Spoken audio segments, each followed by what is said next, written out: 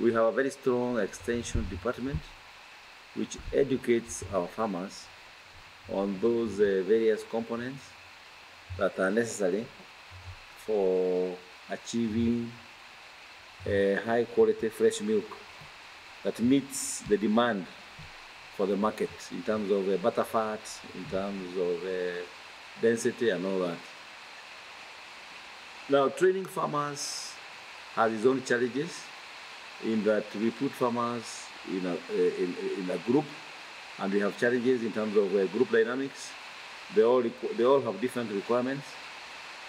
So when we are training them, we come up with programs tailor-made by us on uh, what is uh, required.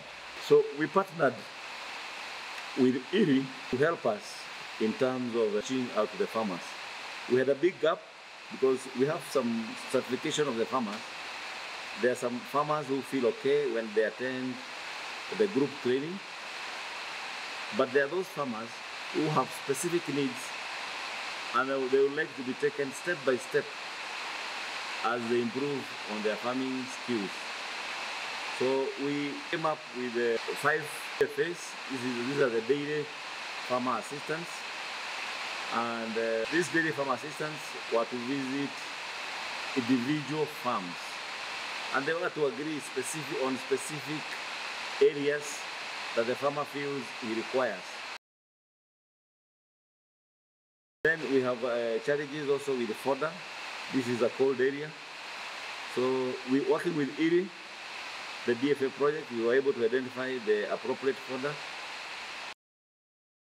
We were also able to work on the fodder conservation technology, silage making, hay making, and establishment of new varieties of fodder that are resistant to diseases, resistant to frost. We have a big problem here in Nyandarua of frost. So we are trying to come up with uh, some fodder that are to frost. Then we're also looking at uh, high well, fodder that are high in uh, crude protein and energy. And all these uh, areas that the DFAs, the dairy farmer assistant, was able to take the farmer through. And we have some farmers who have recorded uh, two to three liters increment uh, after starting to work with the daily uh, farmer assistant. Who have worked with the dairy farmer assistants uh, have benefited, and in fact, some of those dairy farmer assistants that uh, uh, we started with, they, some of them were so good that one was absorbed by the dairy society. We absorbed him to work with us as a to to sell our feeds.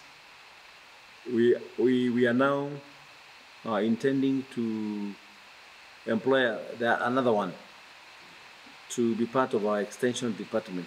But really, if you can get uh, assistance uh, in terms of um, subsidizing on their remuneration and uh, further training, we would really appreciate because we have seen the benefits. Two to three liters of milk per cow per day, if you have uh, 10 animals uh, 10 a- that are, that are in lactation, we are talking of a big income, which is a game changer in terms of uh, money in the pocket. Otherwise, we are very grateful for ILRI. They are our partners, and uh, we work closely with them, and uh, they always give us a listening ear. And uh, really, we would not like this to have an abrupt end. Thank you.